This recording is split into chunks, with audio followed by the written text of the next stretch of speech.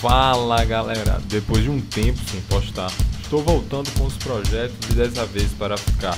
Primeiramente gostaria de agradecer a todos, a vocês que vêm acompanhando o canal desde o início, toda essa evolução nesses aproximadamente 4 meses de existência.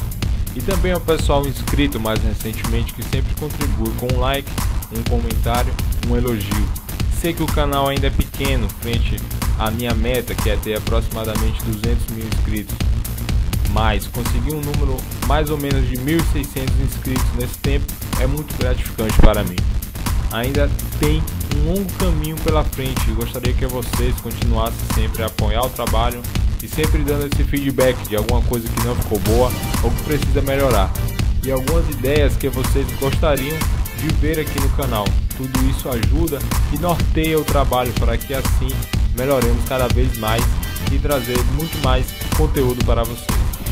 Bom, em relação às novidades, o canal agora vai contar com três vídeos por semana, onde irão ser postados toda segunda, quarta e sexta-feira, sempre ao meio-dia, sendo que cada vídeo vai ser uma série diferente.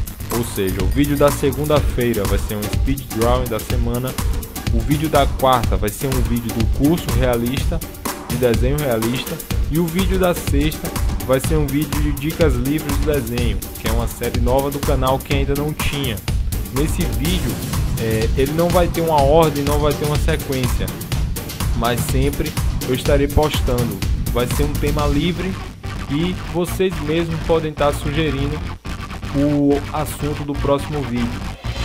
Então, essa organização começa agora já na segunda-feira com o vídeo do Jay Cutler, que já está quase pronto, está ficando bem legal o desenho.